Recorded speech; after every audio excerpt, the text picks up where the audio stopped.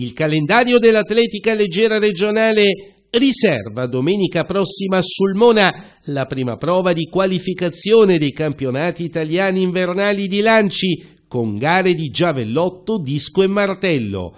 Le gare si svolgeranno all'impianto Nicola Serafini in località incoronata. L'organizzazione è curata dall'Amatori Serafini Sulmona. La manifestazione rientra tra gli appuntamenti che in questo momento caratterizzano l'attività federale nel mondo dell'atletica.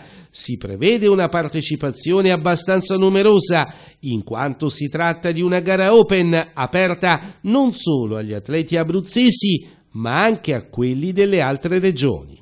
La gara di Sulmone è molto importante in quanto consentirà ai meglio classificati l'ingresso alla finale nazionale in programma a Lucca il 21 e il 22 febbraio. Alla finale accederanno i migliori 10 atleti della gradatoria italiana assoluta stagionale, più i primi due della gradatoria 2014, i migliori otto della gradatoria promesse 2015, i primi otto della gradatoria stagionale giovanile che comprende le categorie allievi e juniores. Si incomincerà domenica alle 10 con il martello maschile e femminile, alle 11 il disco maschile e femminile, per finire a mezzogiorno con il giavellotto, sia maschile che femminile. L'evento che la federazione ha voluto a Sulmona è solo una parte del pacchetto stagionale che avrà come punta conclusiva i campionati italiani cadetti e cadette in programma l'11 e il 12 ottobre.